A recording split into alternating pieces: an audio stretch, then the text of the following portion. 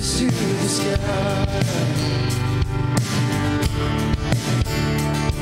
Your righteousness is like the mighty mountains.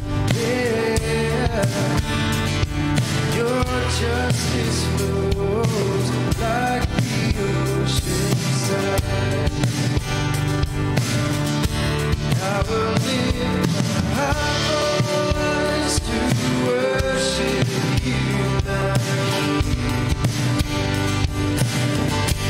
I will find my strength in the shadow.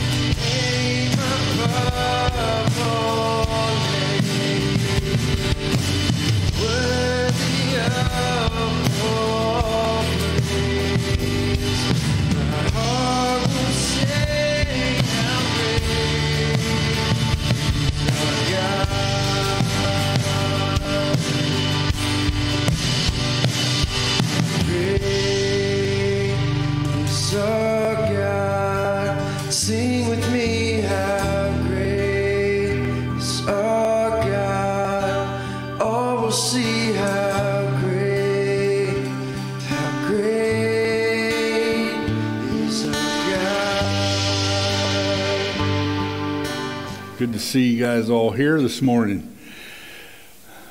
Sleepy, rainy Saturday morning. You all got up and out of bed, came on in as we continue through Joshua. You know, I recently heard a story. A pastor uh, was in the middle of his teaching on uh, Sunday morning, and right in the middle, one of his men got up and walked out and never came back in. And so he was concerned after service. He looked up and he couldn't find him. He found his wife. He said, Hey, uh, I hope I didn't say anything to offend your husband. I saw he walked out. She goes, Oh, no, don't worry about him. He's not offended. He just has a problem with sleepwalking. See, that'll sneak, that'll sneak up on you. so on this uh, rainy morning, stay with me the best you can, all right? Uh, I thought we might, uh, I might go to, when I was preparing this, might go to Joshua 12. Uh, and hey, this has been a, this has been a good year in Joshua, hasn't it? Joshua is a rich book. I mean, we probably could stay in Joshua for a long time. Uh, let's just pray as before we get started. Lord, we just ask you this morning that you would teach us what you want us to learn and you would make us what you want us to be by the power of your holy word. And we thank you in Jesus' name. Amen. Joshua chapter 12.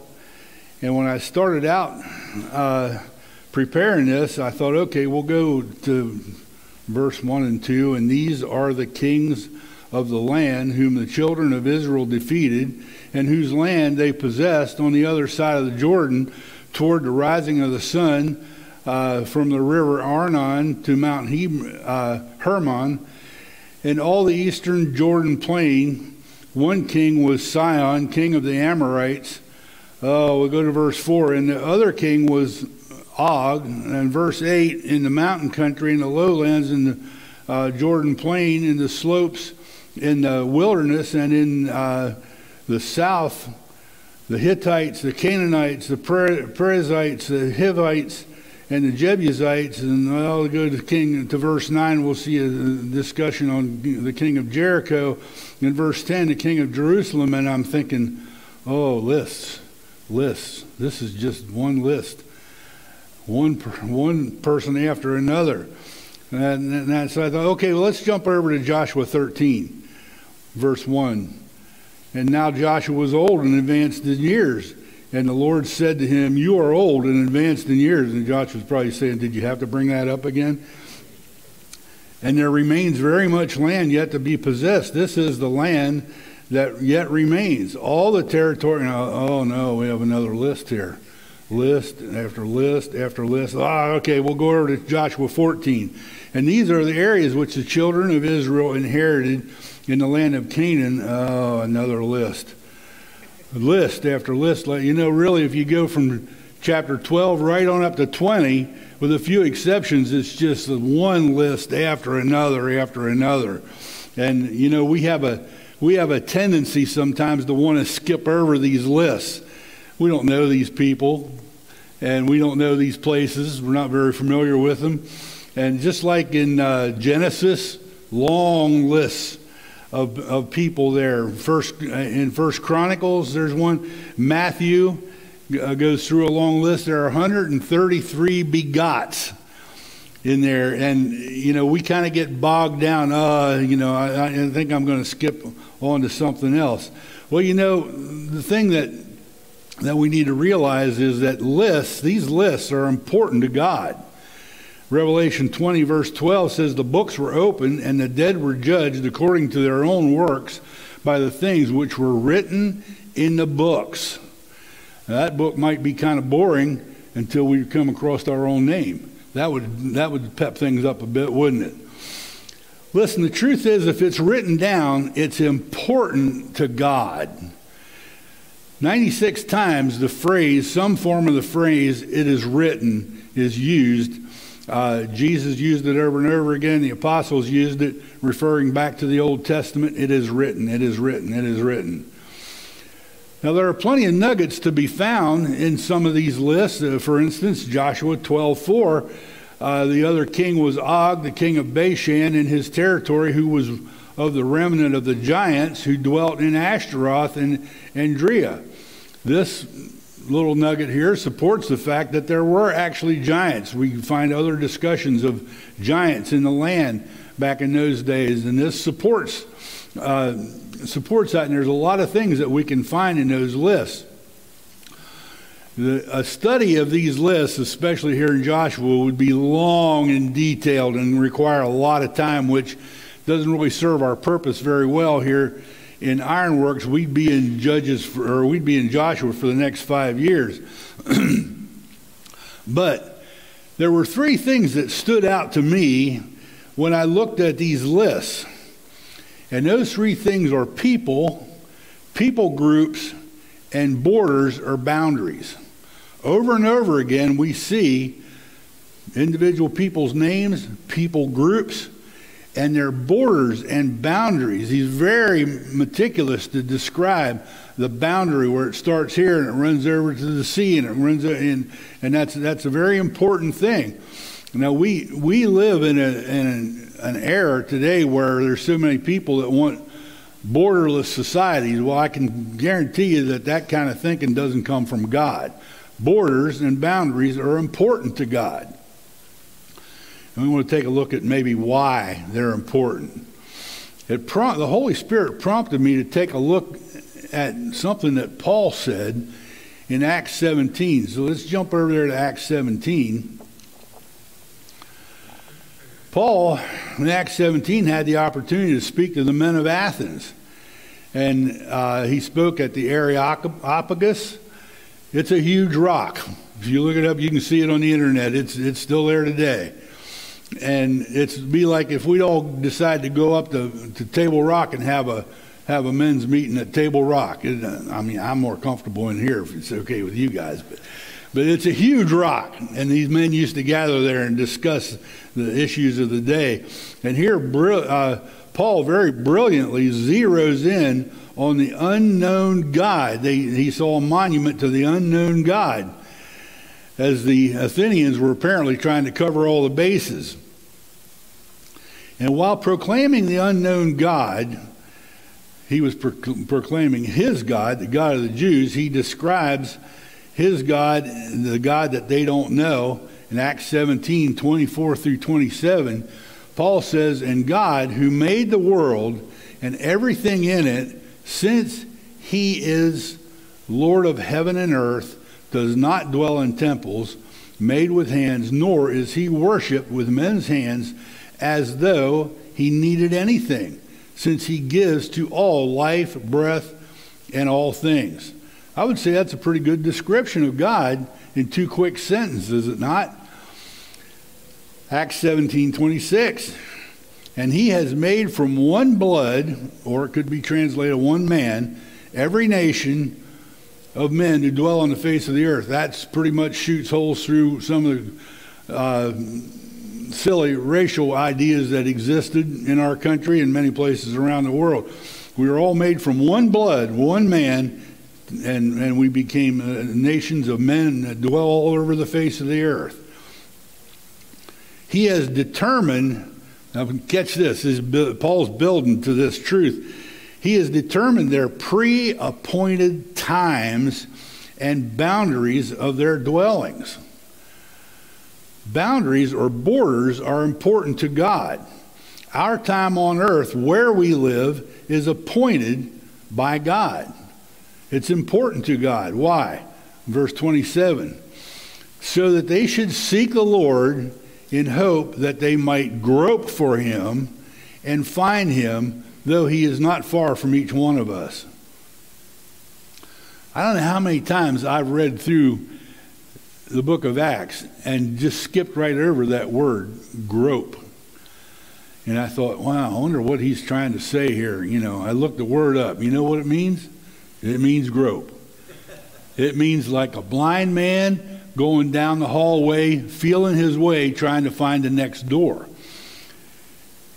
And he says here, what this verse is telling us is God, in his sovereign purposes, places us in a time and a location to make it possible that we might find him by groping. Now you're all looking at me like he's going to reel you off the deep end this morning, isn't he? And that's the way I kind of looked at it. I was going, groping, groping. What's he talking about? Well, you know, the more I thought about it, the more I realized men generally do not set out on a crusade to find God or to find salvation. There may be exceptions. I don't know of any. Most of us find him by setting out to disprove him. Like Lee Strobel wrote the case for Christ. He was an attorney, and he set out when his wife got saved. He set out to prove that it was all just a made-up fairy tale, and that Christ didn't exist, and the whole gospel was made up. And in his process, as he groped with his blinded spiritual eyes through uh, life, Christ one day manifested himself to him and he was gloriously saved. And today he's a very strong testimony for the Lord. Now, the truth is, isn't that really how most of us find Christ? Spiritually blinded, blind spiritual eyes, groping for happiness, for peace, for meaning, for joy, for satisfaction. Men often seek the benefits without the giver of the benefits. A good example is a rich young ruler. He comes and says, What must I do to, be, to have eternal life? And he was interested in the answer to that question until he realized it was going to cost him something. I want to take a couple minutes and give you, give you a little bit of a personal testimony. You know, I, I, I know you've had bits and pieces of this as long as I've been teaching here. Uh, I grew up in a relatively conservative Pennsylvania Dutch area of the country. Uh, there was a lot of Brethren in Christ churches around where I grew up, a lot of what we used to call Dunkard, Mennonite. Uh, uh, there was some Amish, and a lot of Lutheran. My family uh, came out of the Lutheran, the old Lutheran church in Germany, came to America. And the, the problem was, by the time I came along in the 50s and 60s, our church was no longer the Reformed Lutheran. It became a United Church of Christ, which had long since departed from the idea that the Word of God was infallible and that the Bible was true from cover to cover. And so, consequently, we heard a lot about Bible stories I heard all about David and Goliath and Saul and and uh, and and Paul, and uh, so I knew a lot about those Bible stories, but they really hadn't didn't have any meaning for me because I didn't have the Holy Spirit inside me teaching me. And I remember there was actually was a teenager. Uh, my family was very faithful to that church. I mean, I got people buried in that cemetery from back in the 1700s. And uh, so we were there all the time. But I remember one day a, a, a, teenage guy came to visit a new guy, and he, car- he brought his Bible with him when he came to church. And we all kind of snickered and laughed. What's the guy bringing a Bible to church for? We got him in the pews, right? You know? And so that was sort of, sort of the attitude that I grew up in. Try to do more good things than bad things, and the scale's going to balance out, and you'll be okay, and you'll get to heaven.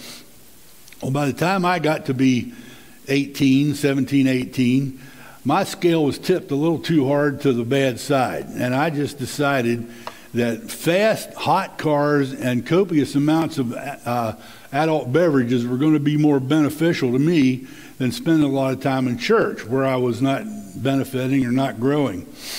And I'm not blaming those people. I'm blaming I had the same Bible laying on the table at home as, as what, what they did. And so it's not their fault. It was my fault. But I went through a long period of time where I just would not darken the door of a church. And I remember during that time, I used to occasionally, back in those days, Billy Graham was doing televised uh, evangelistic crusades. And I would often, when I found out that he was going to be on TV, I would take the time to just sit down and listen to Billy Graham. And I had a lot of respect for Billy Graham. And, and I remember saying, I probably said it to myself and I probably said it to other people, that thing that he's talking about, that business about getting saved, I would probably do that if somebody explained to me how to do it. And as, as I'm thinking that, I'm popping the top on another cold uh, can of adult beverage and, and just continuing to grope through life, finding, looking for the things that make me happy and not really concerned about where I can find true happiness. I liked, I had some respect for the benefits that came from knowing God, but I was not ready to make the commitment. The day I came to Christ, I didn't go to church that morning thinking, I've got to get in there and find out the truth. I need to find God. Maybe I can find him here. No, I was going there because my wife wanted to go there. I was making her happy. Okay, we were invited by, by another family, uh, a family who used to be a drinking friend of mine, and he got saved, and all of a sudden his life completely turned around and his wife made friends with my wife, and so we got talked into coming church, coming to church, and here I find myself in this gospel preaching church, and I had never heard these truths before, never heard it like I was hearing it from that that pastor, and I just uh, be honest with you, I didn't go there with the intention of anything other than just make my wife happy. And when I came to the point where I'm finding myself walking down the aisle there's a part of me is going, What are you doing? And there's another part of me that was saying, Just shut up and keep on going. I got a plan for you here. And and you know, I found myself drawn that morning to go down front and deal with the counselor there about my salvation. I was drawn to the truth.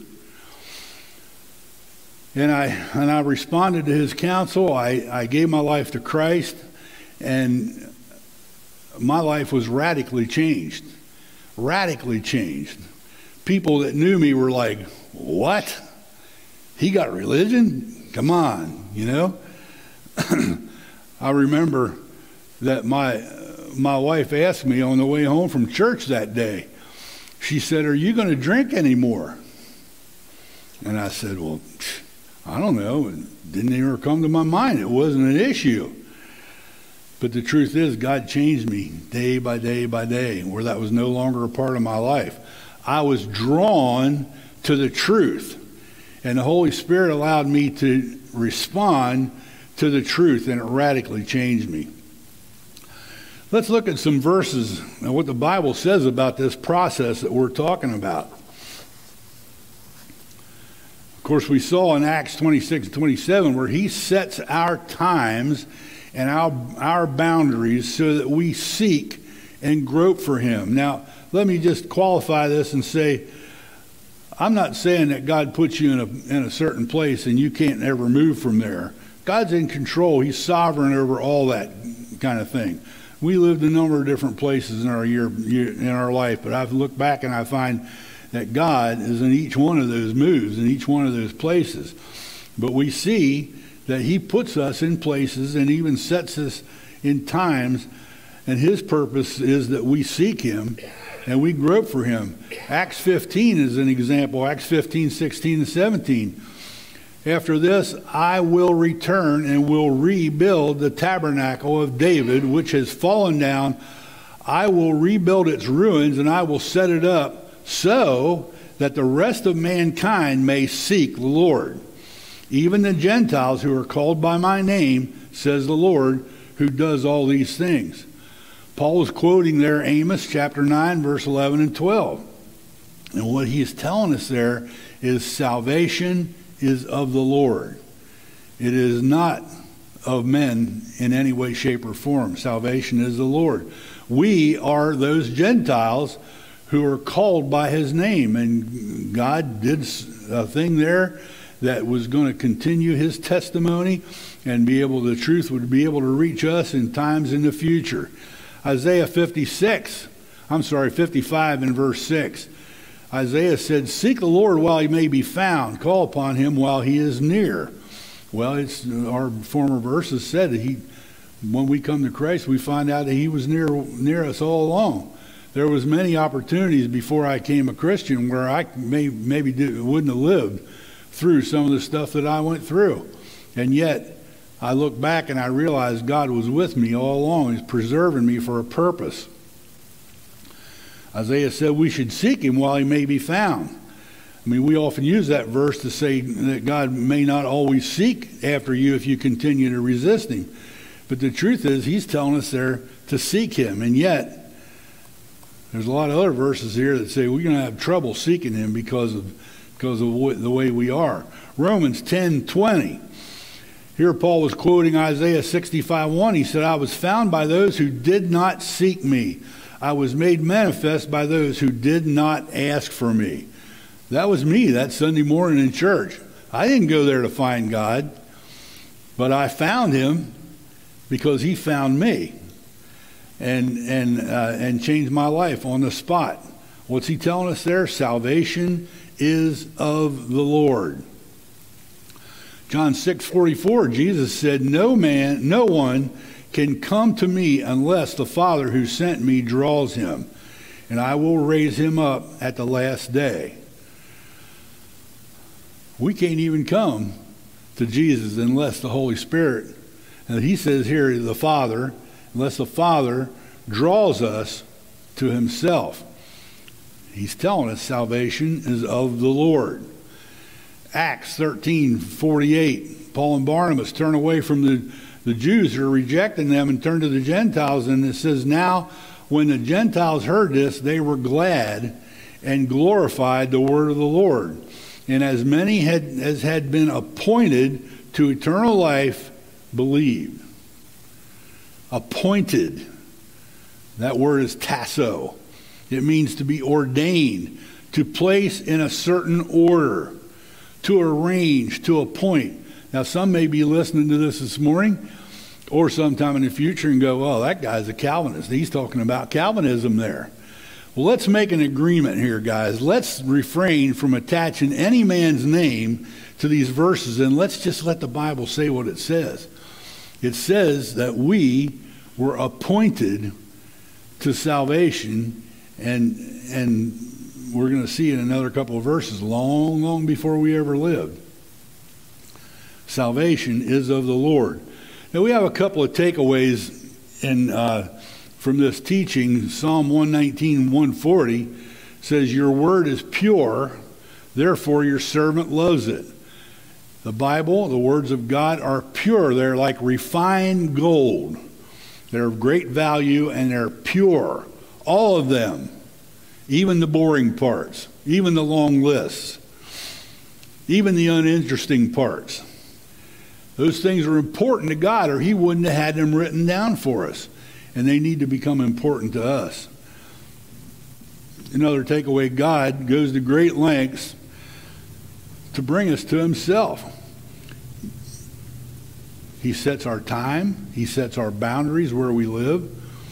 He makes our paths straight. He chooses our time and our dwelling place. He calls us even while we are groping for all the things that we think we will make us happy, and yet we find in the end it was God. It was, it was the only Jesus. It was the only thing that could really make us happy and bring us joy. 2 Timothy 1 8 and 9. Therefore, do not be ashamed of the testimony of our Lord, not of me, his prisoner, but share with me in the sufferings of the power of God, who has saved us and called us with a holy calling, not according to our works but according to his own purpose and grace, which was given to us in Christ Jesus when we got saved? No, it's not what it says. Before time began, long before we came to Christ, long before we ever drew a breath, long before Christ paid our price on the cross, it says that grace was given to us before time began. It was part of the eternal purpose of God. His purpose is calling out a people for his name. And thank the Lord we are part of that if we have received him as our Savior and had our sins forgiven. And I pray that's your situation. If you're here with us this morning or you're listening online, salvation is of the Lord. That's a big takeaway today. We can't take credit for anything, any of it. Alistair Begg, uh, pastor of Parkside Church in Cleveland, Ohio, puts it like this, and I'll, I'll paraphrase what he said. Whenever we're questioned about how we're getting to heaven, how we're going to get into heaven, we should never answer in the first person. Like, well, I was baptized. I walked down an aisle. I professed my faith in Christ. We should always answer it in the third person because he died in my place, because he called me to salvation, because he set me apart. And he illustrates it with a, a, kind of a humorous story about the thief on the cross when he got to heaven. And one of the angels may have questioned him and said, What are you here for? And he says, Well, I don't know. And he says, Well, what do you know about the, the Bible, the Word of God? And he says, Nothing. And he says, Well, what qualifies you to come in, come in here with us in heaven? And he says, I don't know. How did you get here? And he says, All I know is the man on the middle cross said I could come. That's a profound statement. His story would have been we were all dying. I knew I deserved it. I believed he didn't deserve it. He said he was coming into a kingdom, and I simply asked him, Would you remember me when you come into your kingdom? And he said, I could come. That's a, that's a beautiful truth there, isn't it? Christ placed that man in a period of time and in a place where he would grope his way and find salvation. Did he go to the execution, uh, to, the, to, the, to the cross to be executed that morning, figuring that he was going to find salvation? No, I don't think that's the way the day started out for him. But he found him. He groped his way to God and realized when the when the, the Christ was there right beside him that this was the truth that I need to respond to. He groped his way and found salvation just like you and just like I did. Now again, let me let me just say that I know there are maybe some folks that have a little bit different experience. Uh, there are some folks who got saved when they were a child had a very, very uh, different experience. But I think for the most part, we end up groping our way towards God with blinded spiritual eyes, looking for everything but Jesus to make us happy, and yet He graciously reveals Himself to us. I'm going to end up with, uh, with this few verses from Isaiah. We don't have those on the board Brian, I just added these last night late, so didn't want to bother you that late at night. But, I, but it caught my eye as I was looking through verses uh, that pertain to this subject. Isaiah 59 9. Therefore, justice is far from us, nor does righteousness overtake us. We look for light, but there is darkness. For, bright, for brightness, but we walk in blackness. We grope for the wall like the blind, and we grope as if we had no eyes. We stumble at noonday as if it was night twilight. We growl like bears and moan sadly like doves. We look for justice, but there is none, for salvation, but it is far from us. That's us. The prophet there is describing, describing the human condition.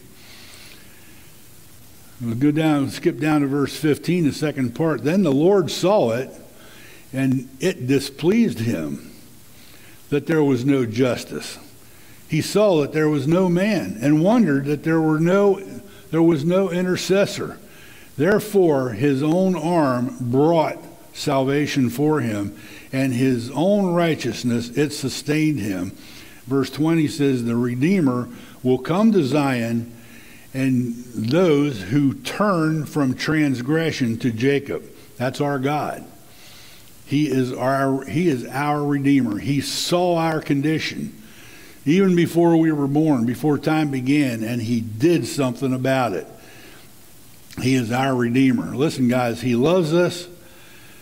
He provides the way for us. He calls us out of darkness and into his marvelous light. Father, we, we thank you for this wonderful truth. And Lord, we ask you would help us today in small groups to really share our story and appreciate what you have done for us.